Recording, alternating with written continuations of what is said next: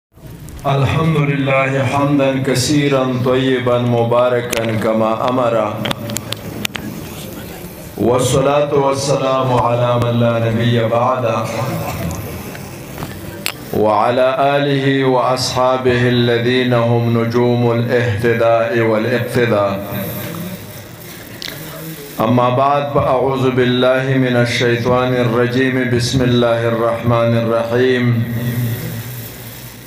إنا نحن نزلنا الذكر وإنا له لحافظون صدق الله مولانا العظيم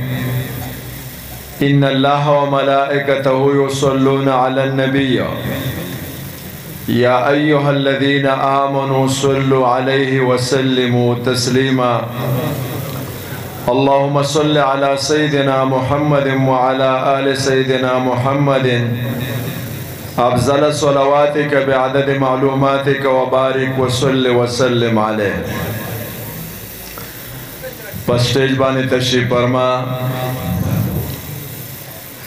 اکابرین علما کرام په دغه ډیره درنه مقدس او مبارک اجتماع کې شریکو د دغې پښتنې سیمې شملورو پښتنو مشرانو، نوجوانانو، کشرانو، د جامعه مفتاح العلوم مدرسین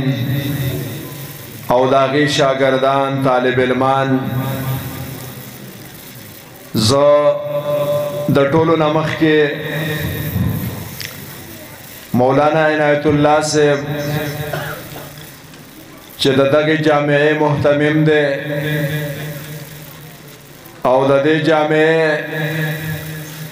تمام رویداد هغه زمون په وړاندې باندې کې خود انیس سو ستانوے نه تر دې وخته پورې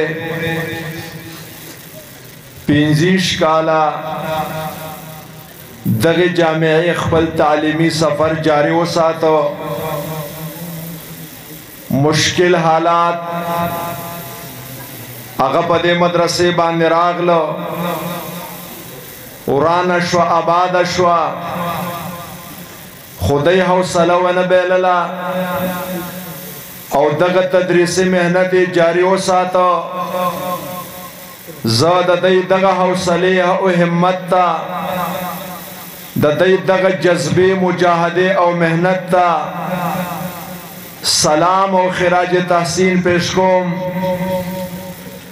کوم طالب علمان بچی چنن د دغه مدرسې نه د علم او د قران یو مخصوص حصہ حاصله کړې ده اغیتا زه په دې باندې مبارکباد پیش کوم چې داغي په دغه مبارک سنو کې